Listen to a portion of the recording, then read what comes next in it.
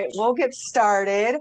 Thank you, everybody, so much for coming. Welcome to the Universal Asians online event, How to Avoid the Trap of Boba Liberalism as Asian Adoptees, with your host, Haley Hudler. The Universal Asian is an open and safe online platform aiming to provide inspiration to Asian adoptees, imported Asians, and immigrated Asians, hyphenated Asians, around the world. We strive to mainstream discussion on any and every topic that helps make our community of Asian voices universally heard. It is our aim to bring people together, so please feel free to reach out to us if you would like to be interviewed or want to share something of your own or collaborate on a future event. I want to let everyone know that we are going to be recording this. So if you are not comfortable with that, I will put my email in the chat for you to contact me and let me know, and we will make sure your name and face are removed for your own privacy. Um, I'm going to be monitoring the chat and let Haley take the whole time to talk and focus on that. Um, if she has time to check out the chat and read some comments, uh, that's awesome. But mostly I will be watching that for her. So Take it away. So, first, we will begin. What is boba liberalism? So, this was a term coined by the Twitter user at Diaspora is Red, who says this is a type of mainstream liberal Asian American politics that, like the drink, is sweet, not very offensive, but also not that good for you it's just empty calories. So that was um, the Twitter user's original definition of boba liberalism. So this is a little graphic of um, like an quote unquote Asian woman sitting on top of a boba drink. So boba itself, for those, I think maybe everyone here who has tried boba before, but it's a it's a drink that comes from Taiwan, I believe, and it's it's just like a tea. It's like milk tea or any kind of flavored tea of any flavor and you put tapped like black tapioca balls in it and it's kind of just that's the drink and so the liberalism part is when it comes into understanding what liberalism is and like different ideologies which i don't have too long to explain what that is but I'll also just read some of the definitions I was able to grasp online about this new term because it is so new. Boba liberalism is a critique of mainstream Asian American political identity that at its surface, um, that it's a surface level activism and focuses on assimilation and class privilege while ignoring fundamental questions of social and economic justice. For example, wanting to reconnect with your roots by drinking bubble tea, which is also boba tea, getting added to subtle Asian traits, and organizing fundraisers for your Asian student group but never studying your history and feeling solidarity with your homeland against imperial imperialism. So I'm taking a lot of things that um, were described through some articles I found on boba liberalism. So how did I first get introduced to this topic? I would like to say um, it's still pretty new to me, and I felt as I've been learning about it in the past couple of months that it was definitely worth educating people on it as well. That's how important I felt it was. So when the rise of the Stop Asian Hate movement began, I tried to figure out what my role in this in in that movement is and how can I make a difference in my community by speaking out. I was at first happily surprised Asian celebrities were speaking out about hate crimes that were happening in the API community, but then questioned why is this happening now in March of 2021 when the pandemic started a whole year earlier in March 2020. So um, then I stumbled upon Dr. Kiona's Instagram, aka How to Not Travel Like a Basic Bitch. She made a post that warned several different Asian groups to think before speaking out about oppression faced by the API community um, the different groups that she called out are usually groups who normally stay silent about oppression faced by Asians. And um, she was speaking to how they are not truly informed about the issues Asians and Pacific Islanders go through. There was a lot of backlash in the adoptee community as Dr. Kiona specifically addressed Asian adoptees in saying that we need to pass the mic to other Asians. And I initially was offended by her post, thinking that she was saying adopted Asians do not get harmed by Asian hate crimes. But as I thought about her post more, she addressed also middle to high class Asians as well as mixed race mixed race Asians as well And so I was digging through more of her work because she has several degrees on her. She's a doctor, and, and, I know that. And so I was digging through some of her previous work that she's done, and I stumbled upon her uh, a couple of her work that she's done with the Smithsonian Asian Pacific American Center, where she explains boba liberalism. So I'll show you that clip right now in her video that kind of explains that. There are also Asian Americans that deny their own oppression exists. In the next slide, we see this sentiment is so common and detrimental to the liberation of Asian Americans that Asian Americans have come up with the term, quote, boba liberal, to identify those within the community who uphold the model minority myth. This term is used to describe Asians that superficially embrace their Asian identity, such as when drinking boba tea, while not having to show any concerns about politics around Asian identity. Common characteristics are an Asian who gaslights someone who talks about the racism that the Asian community faces, an Asian who denies the struggle that the Asian community faces, an Asian who advocates for communities outside of their own but stays silent when their own community is in danger, or an Asian who only acknowledges their culture when it is trendy or in style. We can see this play out today during COVID 19 and the Black Lives Matter movement. As the rate of violent Asian hate crimes were rising across the globe from February to May, it was noticed how many Asian celebrities did not speak out against what was happening to their communities for fear of being too political in their identities. However, those same Asian celebrities came together for the Black Lives Matter movement in May and advocated for the just treatment of Black people.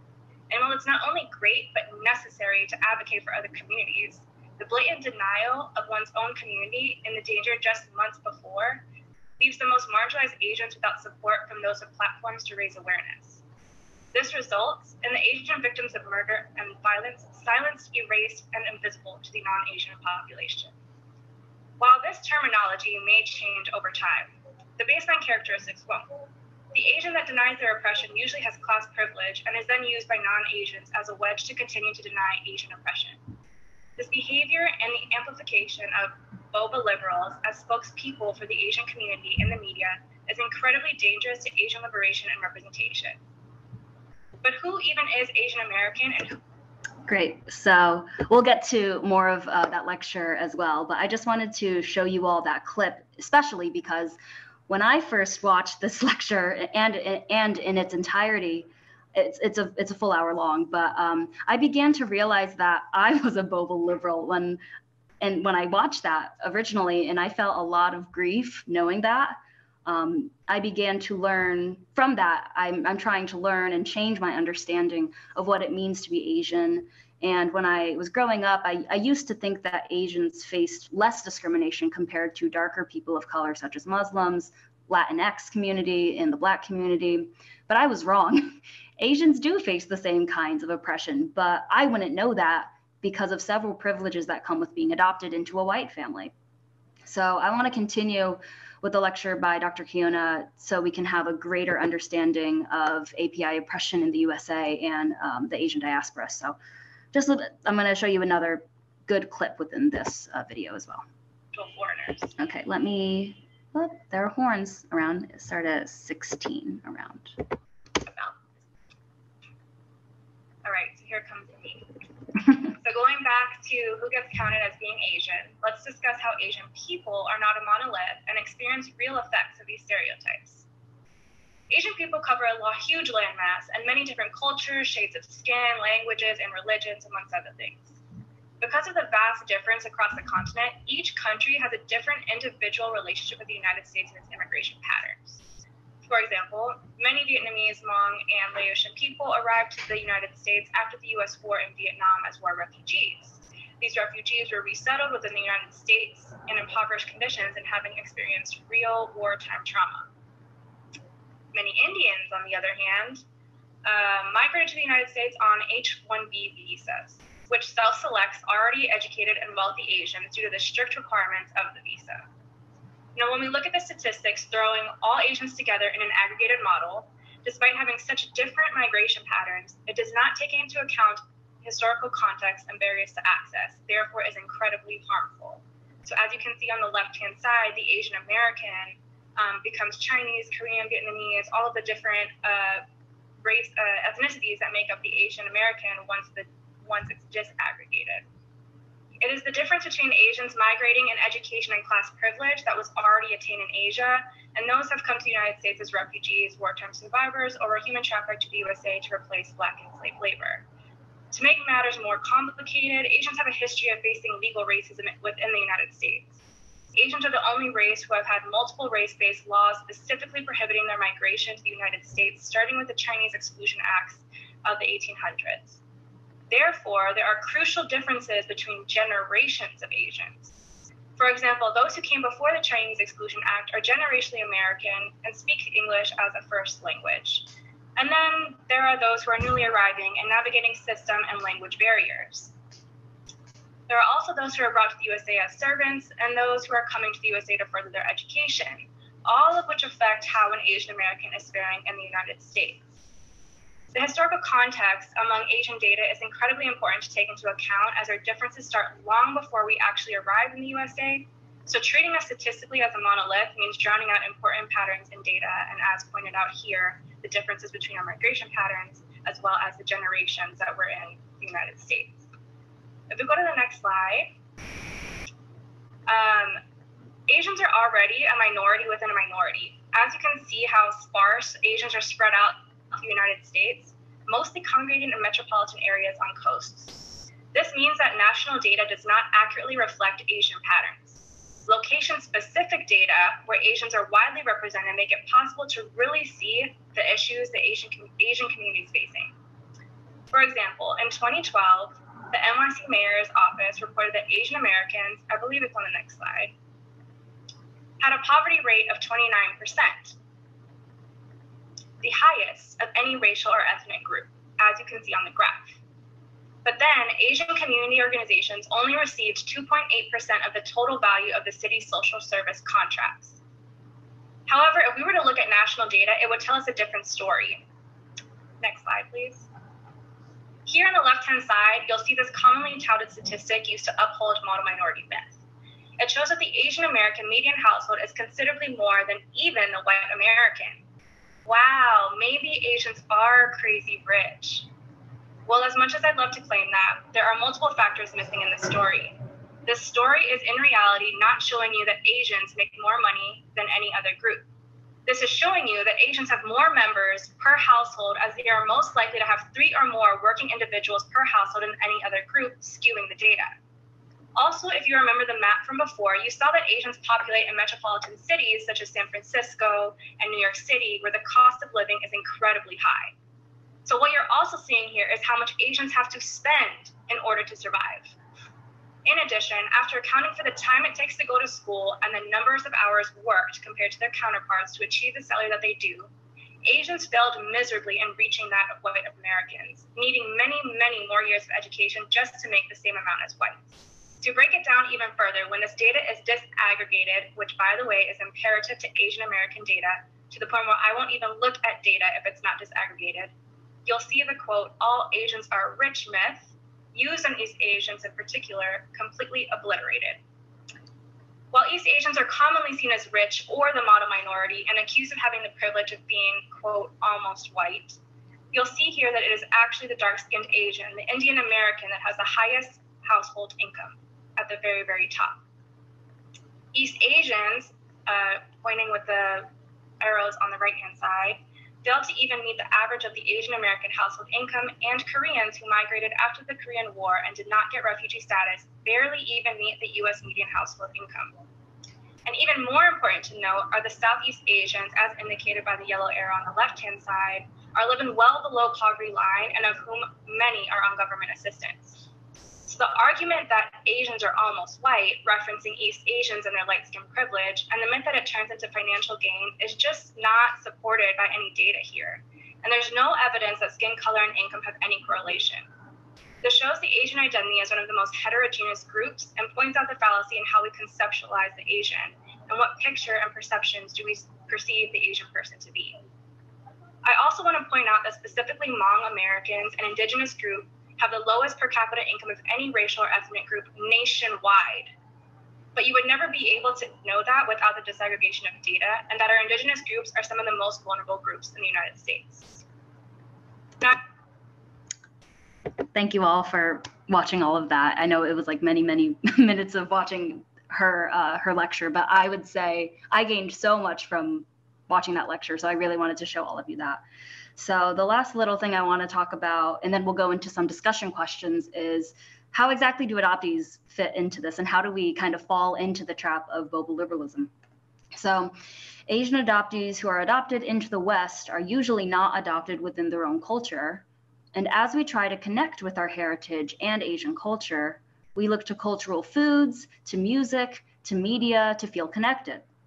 Unfortunately, through those methods, we will still not truly understand the struggles of low class Asians and first generation Asians who struggle with immigration citizenship issues, language barriers, and lack of means of financial stability and access to education and healthcare.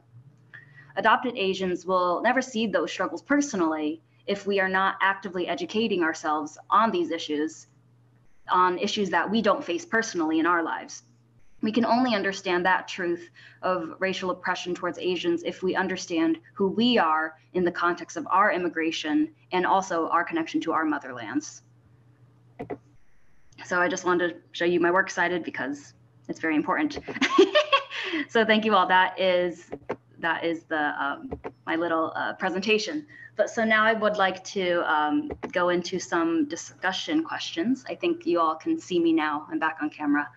Um, so now is the time for if you feel up to it and if you would like i would like um, you all to participate in um, some of these questions. So the first is how are you feeling and what are your initial reactions? And also how, are some of these things in this presentation very new for you? Like are, are these new things that you've heard just now? I can uh, say that um, well i came in a little late. Honestly i it's accidentally okay. thought it started at nine central instead of nine eastern. So I was like 10 minutes in. So I missed like half the presentation. Aww. But yeah, I would say this is a pretty new concept to me and hearing it um, and just like knowing the access that I as an adoptee have is so limited, it kind of feels like hard to escape the the uh, initial draw of boba liberalism. And so it um it just makes me wonder like if it's possible really to escape that and like how authentically I would be able to do such a thing. So mm-hmm. I'm feeling like I don't know. yeah, thank you so so much Sophie for being honest with that. And I I also feel like it's if we can't ever experience what it's like to be like a first gen immigrant or a, an Asian living here who can't speak English, and I, I, I feel like it's there's only so much we can do to put ourselves in a position that we're not in, but also know that as Asians living in the West, as Asians living in the USA, we do have a job to not represent all Asians. That's a lot of that's a lot on us, but I do think we need to know what the we need to know what's going on to our racial group, even if it's not directly impacting us. Yeah. Anyone else have initial reactions or feelings or thoughts about what I was able to present to you in some of the videos or some of the things I reflected on? Okay. Hi, Haley. Hi, everybody. Um, my name is Chris. Pronouns he, him, his. Uh, if you hear background noise, I am trying to put my daughter to sleep as well. Um, I, I love this uh, lecture. Haley was great. It's something that has always been in the back of my mind. I just never had a term or phrase for it. Like I've always known as a, you know, as an Indian adoptee, of course, you know my story, um, even how it has been. I've never been 100% informed on all things pertaining to, uh, you know, not just Asians here in the U.S., but even just South Asians, just all any of that. But again, it's how we're raised and how we're brought up culturally. We're not put in those situations or to know and learn. Um, so yeah, I do think it's important now to just, if nothing else, be informed of all the things that are happening for the people of our uh, ethnicities. And you know, it's, you know, when I think Asia, I think of it in a broad term, not just East Asian, Southeast Asian, or South Asian. I, I usually, from my perspective, I see it as a big window because it is. It's it does include all of us in that continent. Um, but yeah, those are my quick thoughts about it. Uh, and you know, even though the term in this case is boba liberalism, which I know boba is more, you know, East Asian, I'm totally yes. fine with that too. I would use the same term, or even, you know, I don't find a need to like masalify it or anything of that nature. I think samosa liberal. samosa yeah. Liberal. But that's you know no, that's just my perspective. You know, I when I think Asia, I think of it as a whole, not just individual countries. So. Mm-hmm. No. Thank you so much, Chris. Uh, I thought it was like interesting. Um, my name's Kate. Hi. I like heard of the term. Like one of my um, adoptee friends like used it, and I was like, "What are you saying?" Like, and she explained it to me, and like I think it's still like getting used to learning the term, obviously, because it's like I personally don't use it like on a regular, you know, basis.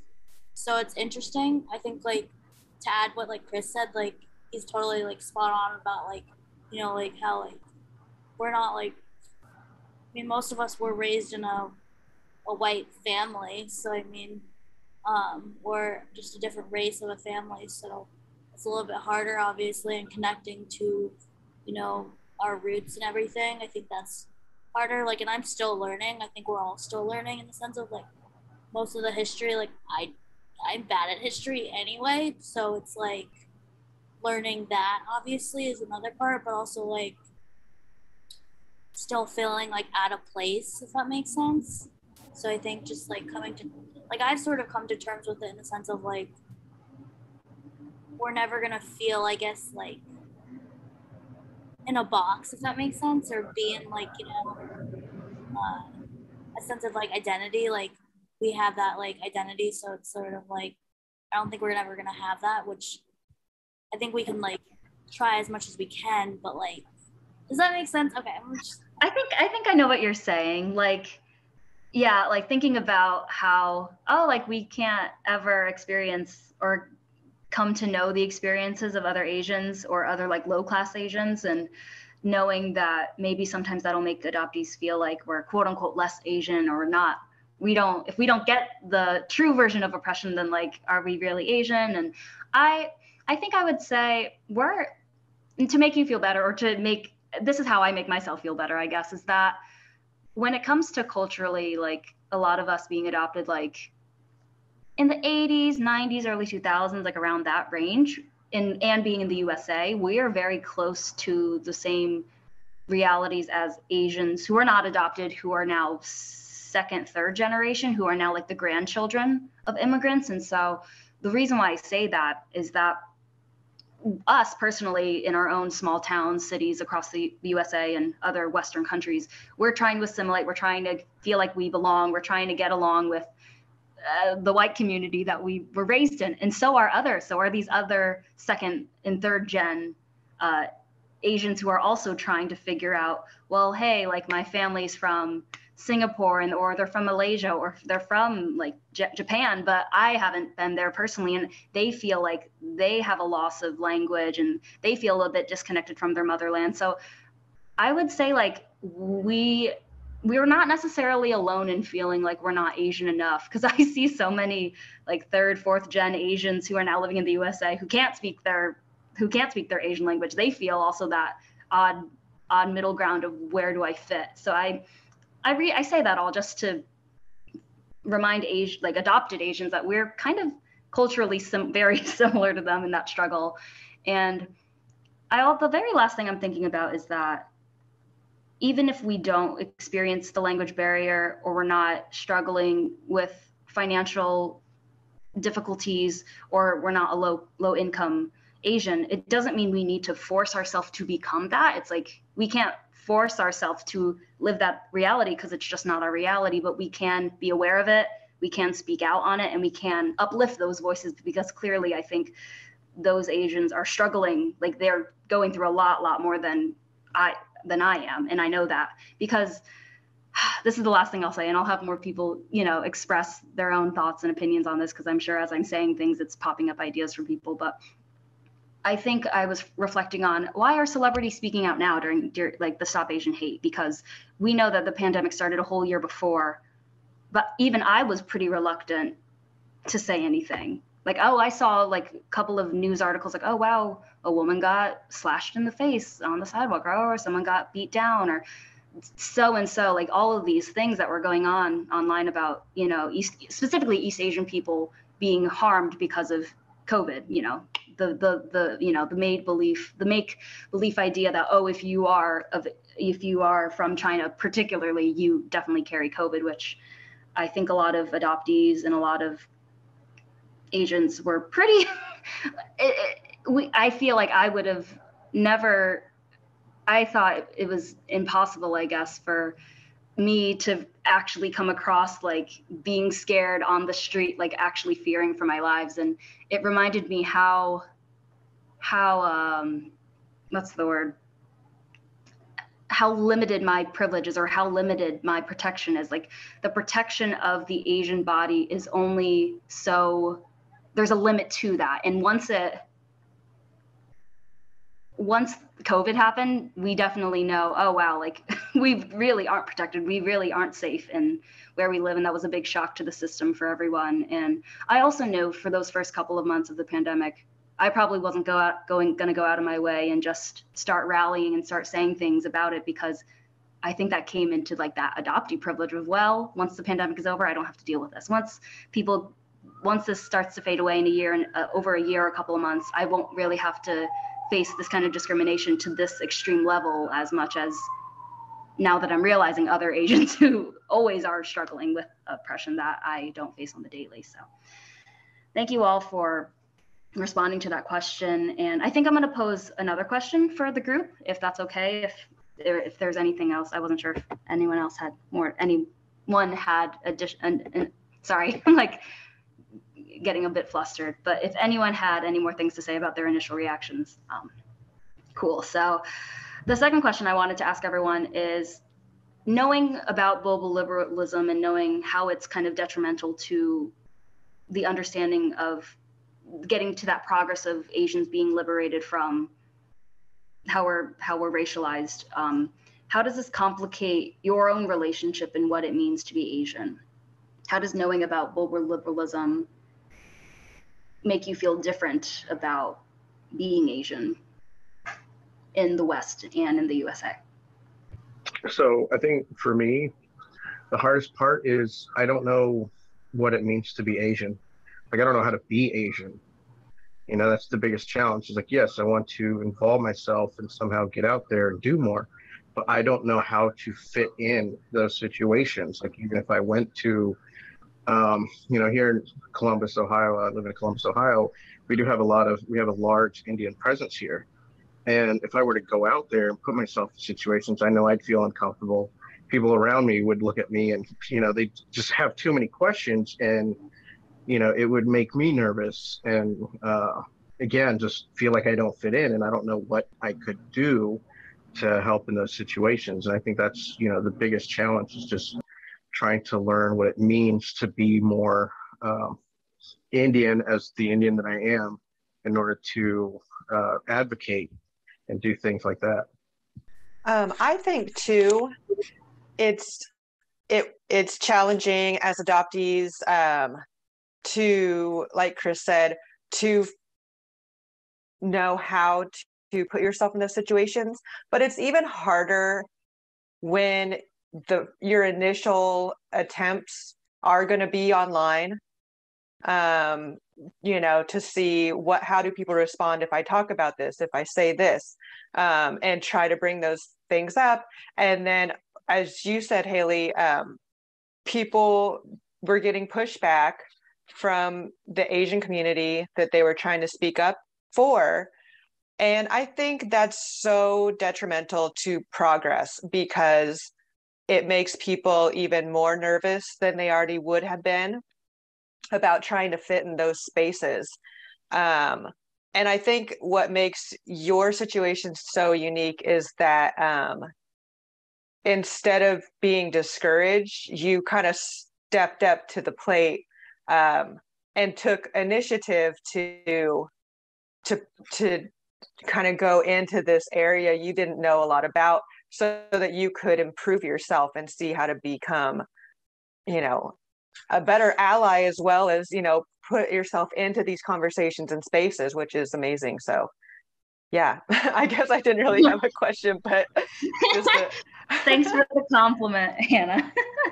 I yeah i i think about like now that i now that there's a, an official terminology for boba thinking boba liberal thinking and i think it's it stems from that generational thing that Dr. Kiona was saying in her lecture that the reason why this phenomena or this kind of thinking is occurring is because you have Asians who who are middle high class, they have everything they need financially with education, they're pretty well off and they also want to become accepted. They want to be accepted in in the now the now USA that they live in now and in order to feel like they are accepted, oh, if people start liking K-pop, I think that means they like me more. Oh, like all of my all of my other people of color friends and my white friends they're going out and eating dim sum and they're eating hot pot and they like love it. So like I understand like it's a it is it's a nice thing to feel like people are appreciating your culture.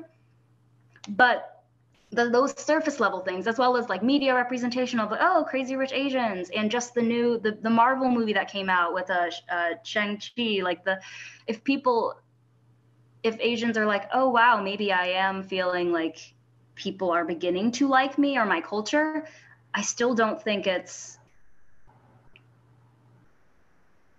I think it's important, but it's it to say that to say that the only thing that Asians are fighting for is representation. Like that's that's just not the case. Like there's so much more that's going on that are behind the scenes that are you know like a lot of you, a, a lot of you who um, may have may already know about like the adoptee citizenship bill that's going on. Like that really brings us back and very directly to what it what it means to be an immigrant. And I know some international adoptees see themselves as immigrants or not, but I think for me that's something I'm personally trying to figure out for myself if I even feel comfortable calling myself an immigrant because I did go through the naturalization process. Like I am officially, I, have been, my paperwork that is the way I am in this in this country. And you know, none of us, if we're not born here, we can't be president. Like there are things that we do not get privileges to be because we are we are naturalized. We do have that immigrant background. And thinking about like wow like there are a handful of adoptees who still don't have citizenship. Many of them aren't necessarily like I think a lot of us are in our 20s and 30s, but like older, like like late 30s, 40s, 50s adoptees who've who come who've come now to the USA, who, you know, who've now been deported, and I think really um, deeply for how, especially like you know, there's it's like then you're extending into like adoptees of you know not just Asian adoptees, and that's just it goes into other cultures as well in other countries. But thinking about Asian adoptees and knowing that people can so easily look at us realize oh look you're you weren't even born here and you had you had a name change and you were originally this that a country like the usa can just throw you out and just be like no we don't want to deal with you anymore and i i that's such a scary reality for so many adoptees who don't have citizenship and i feel like i'm now totally totally going off of my question but um sorry i was going on a tangent a bit anyway um, I only have one more question left, and I only planned on having this hour. I only planned on having an hour with everyone, and it may be even less than an hour. But I appreciate everyone and um, those who have participated. I really um, enjoyed what you had to say and what your feelings were. And I think the very last thing that I wanted to ask with um, this lecture and this uh, this uh, call is that now, how does knowing this information of Boba liberalism make you reflect on your immigrant immigrant background as an Asian adoptee, if it does at all. Like if thinking about how does so many Asians who are now trying to assimilate into the the West Western culture, they're kind of some of the issues for why they're trying to f- take themselves out of their own family's immigrant story and trying to be more American or more white when maybe we all instead should be we all should be honing into our our our homeland and what it means our relationship in regards to the USA and other Western countries and how our how our um, Asian the relationships between the U.S. and our Asian country that we are from. So it's yeah, I'll I'll leave it open so people can begin to respond to that. So, kind of a combination of like answering your last question, this question. I think becoming more aware of boba liberalism, especially in terms of being adopted, is um, it's it definitely makes me reflect on like how being an adopted into a white family has made it much easier to assimilate. Not necessarily that I wanted to, but like that naturally that's what progressed. Um, and so at a time when immigrants are trying to assimilate and they have such a hard time reflecting on like how despite it not being a choice it is still a privilege to be able to have that access to whiteness so quickly um, is something to like consider um, and also it just makes me reflect on how little i do know um, especially in terms of how to go beyond boba liberalism i know especially uh, when i was a lot younger all I really knew about Asian issues was the representation problem. Um, and that was the only thing I could really understand or connect with. And when all of your peers are telling you how, like, Asians aren't, they don't have problems and they're not really a minority, like, the only thing I had to argue was like, okay, well, but look at our representation in the media and look at all these stereotypes and all this stuff. Um, and so to to reflect on that and be like okay wait why didn't i dig deeper? What more is there to know? Um it's really eye opening i would say like one of the big moments for me is i want to say it was in the last year there was it was probably an instagram post but essentially it was breaking down like that myth of like asians making so much more money than other races in the US and breaking that down and saying, okay, but also even looking further, like Chinese versus Indian versus uh, Vietnamese versus etc. And it was super interesting just because like I am adopted from China, but my sister is adopted from Vietnam and my brother is adopted from India. And so even looking at that breakdown and seeing like how different um, our experiences could be from one another was super eye-opening and, and realizing that like I, obviously I knew that like Asians aren't a monolith, but then to see it broken down even further and see like which um, which nations of immigrants do have it a lot harder and why um, was something that I hadn't necessarily thought to look into until more recently. And I, I think this even like really um, just reinforces that. Like there's so much more to learn and to to be a better, um, I guess, just better informed about everything. Yeah, thank you so much, Sophie. Anyone else have reflections on how having this information now is um, how does it impact you as maybe thinking more back to your story of being an international adoptee or that immigrant past that we have personally have any of you thought more deeply about that? Like for me like so me and my sister both adopted just from like different provinces and everything and there is like an age gap so she's more like she's older, but she's like more like not really into like like anything culturally, like um doesn't want anything a part of it, which is like totally fine and like like that's her obviously, whereas I'm very more like wanting to get back to my roots sort of and wanting to understand and like be aware and everything. So I'm very more like interested like a little bit, but um so yeah, it's sort of it, like I feel like liberal liberal. Well, I understand what you're trying to say. It's okay. But um, I think like it just like sort of it's not just obviously for like adoptees obviously, but it can go from you know like from like Asian to Asian. So I mean. Yeah, yeah. Thank you, thank you. Yeah, I think about um, especially like for so so many years like i've been into like anti-racism work and like how do i as an asian person help other other people of color like elevate them and i really wasn't informed about what what kind of oppression does affect asians whether it's my experience personally with you know i, I feel like yeah the surf not the surface like we i think a lot of us still go through like microaggressions and we walk around in school and people make fun of our eyes or people make fun of like certain features that asians have but to know that for so long I thought that was the only thing that we were struggling with, that it was only kind of making picking fun at the way we look and um, the lack of um, media representation. And now, I think the biggest thing I now with all this information, when I am in anti-racism spaces, and when people say, "Oh, we need to elevate," you know, Black Americans and Muslims, and they really just whether it's intentional or not, I think most spaces do leave out Asians because I think most people do think Asians have, you know, have overcome racism, which now now that we have this information that we really haven't and that's that's part of the model minority that's the kind of it's it's not even real it's completely fake to think that all re- asians are rich and all asians have have it have it good.